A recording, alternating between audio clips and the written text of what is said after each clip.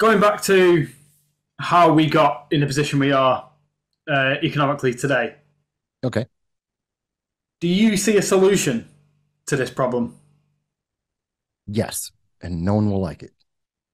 Um, there, there's a couple components to it. First of all, we need to be energy in the United States needs to be energy independent. This is U.S. centric, not just because, um, not just because I'm an America first idea. Uh, I mean, military, my life. I want my country to be the best it can be.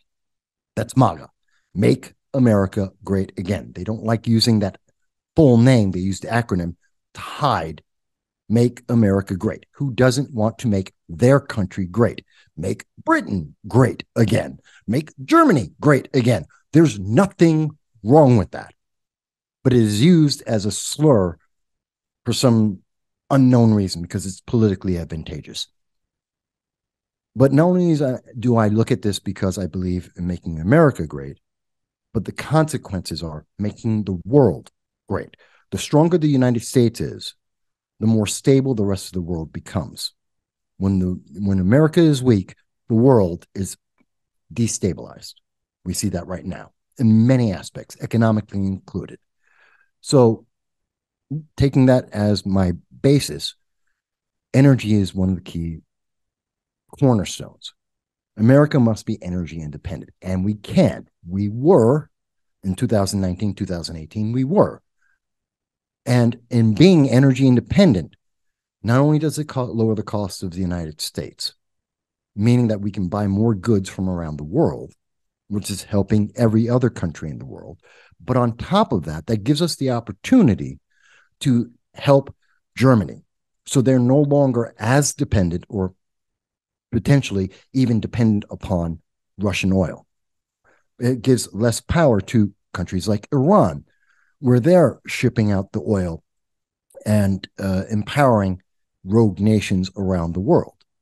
This energy independence doesn't just benefit the United States, it benefits the world. And by having more energy, we enable more advances in our technology. They go hand in hand. The more abundant you have an energy source, the more you can make advances.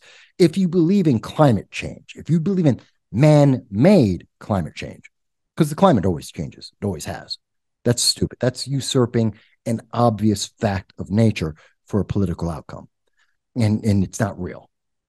If you believe in man made um, climate change, which I do not, then the answer is you want more technology. You want us to be energy independent because that will allow us to do more research, more technology to advance the things we need, like solar panels that are more effective at collecting solar energy, batteries that are more effective at storing that energy, better transmission lines and transmission systems so that we can have the energy go from wherever we're collecting it to wherever it's needed, and even to miniaturize it so you can more effectively be able to have that energy, whether it's solar or wind, geothermal, whatever it may be, to be able to use it on small scale in your home and have it on multiple homes or businesses, minimizing the need for it to be at major structures It's like solar farms or wind farms or geothermal farms. You minimize the need for that by having it more or decentralized. And therefore, everyone's putting into the grid, which is able to properly transmit that energy and also store that energy wherever it's needed. That is smart. You only get there by having the energy in the first place to do the research, the development to get to that endpoint. Anyone who believes in climate change and doesn't believe in energy independence is an idiot and they're committing suicide slowly. They're stupid. They don't understand what they are talking about or what the consequences of what they are doing. Telling me that solar is the answer. We've been working on solar for 80 years. And we are slightly ahead of where we started at. It's not that we don't know how to do it, it's not efficient, it's not effective. We can't make it work. Why? We need more time, we need more research and development. And that is the best solution we have. Wind is four decades behind our development on solar. Geothermal is six decades behind our work on solar ethanol is a poison to the world. It is destroying the oxygen in our oceans. That is a fact. It's not an opinion. It's not a guess, it is a scientific fact. These are all facts. If we want to get to renewable energy that is effective, and the best answer truly is nuclear, pound for pound, dollar for dollar, even including all accidents, it is the most effective way to do this. But if we want to be energy independent or have more renewable energy, then we must be energy independent. And that starts with the United States, which then mm-hmm. allows the other nations of the world to benefit both economically and geopolitically. Germany no longer has as strong a reliance because natural gas is coming from the United States. We have an excess of that. We have the largest supply in the world. Germany is no longer solely dependent on Russia. Same thing for the EU, which gives them independence, which allows them to stand up to aggression by Russia against any of the pre Baltics or any of the uh, former Soviet satellite states, which means Russia has to be more calm because they have more of a concerted effort against this that can be unified in its approach as opposed to the piecemeal situation we have right now where Germany and EU have to guess well if we go too far all the pipelines get turned off our people freeze to death or they don't have enough electricity for the summer and they boil to death or we don't have energy for our emergency rooms and just keeping people alive they can't cook they can't be saved in hospitals we have to measure how much of a reproach we can put against them it's the same trap that we have with China and supply. You can't attack the person who's actually providing you the things you need. So, energy independence leads to a better world. And from there, everything else can come. And I can extrapolate everything else from that first step. Second step, somewhat independent of that. Spend less, spend better, period. Spend less, spend better. We spend too much money. The United States just gave $200 million to Pakistan for gender studies. That is a 10, yeah, $200 million to teach gender studies to Pakistan. That is a 10 times increase than what we were giving them two years ago. Two years ago, we gave them $20 million. Now we're giving them $200 million. Do you know why we give them 10 times more? Two reasons. Two reasons. One, because 20 million doesn't work because the Pakistani government and the culture of Pakistan don't care about gender studies. They never have, they never will. So we have to pour in more money to try and convince them that they need to be more like California than Pakistan. You need tons of money over many years to convince people that they have to absolutely reject their culture, their history, and their lifestyle to adopt some foreign idea because someone said it's a great idea. It's stupid. It's not working. That's why they're doing that. Second thing, it's a matter of control because that money is being diverted unofficially, my opinion, to various elite government agencies and individuals and corporations that will benefit from this money. They are getting wealthy and more powerful by accepting this money, diverting it.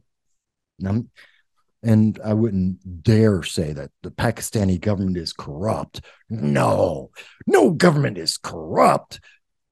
And no one is diverting any of the $200 million that America is just throwing hand over fist at Pakistan for their own personal gain. That could never happen, right? Um, and so some individuals may be empowered, giving them a stronger position within that government by supporting this. They are being bought. They're being bought to push this ideology that doesn't benefit the people, the culture, the history, but it does help that small elite group of individuals who can steer the government a certain way. Their temporary gain is a gain for temporarily for America. Geopolitically, it changes the direction and now we have to wonder what is the consequence of that? Honestly, true answer is it's a waste of money, and the Pakistani government is going to revolt because the whole the history, the culture, and the people don't believe it. We're wasting money and we're creating adversaries for the future. We're creating an adversarial situation that doesn't need to exist. So again, spend better, spend less. If you really must have gender studies in Pakistan for some God unknown reason, then fantastic. Spend $2 million. Why? Because they don't want it. Lead by example. And if it works in California, if it works in the United States, if it works in the UK and Germany, then Pakistan will follow because it's effective. It doesn't cost a lot of money to convince people of the truth and something that's effective. It costs insane amounts of money to convince people of something that is failing before their eyes and saying you have to do it anyway because it's great. I'm sorry. That's not how it works. So we spend less, we spend more effective. Okay, then now I have 198 million dollars that I can spend. Gee, I could feed how many families in the United States or around the world with that? How many homeless people can I protect with that? How much aid can I provide to Africa, the place that's going to give us all the heavy metals for those climate change you want to have, all those developments? I now have $198 million I can drop into Africa to provide them with food, um, roads, water, education systems to stabilize their governments so they're not constantly having warlords fight over every little piece of dirt how many things can I do with $198 million? I guarantee you I can help multiple countries around the world and my own to better effect than $200 million to try and convince Pakistanis that there are 63 genders that they will never believe that doesn't even work in California. Does that make more sense? So there's two ideas with examples why what I would change economically that benefits America first, but the consequences I'm helping the world.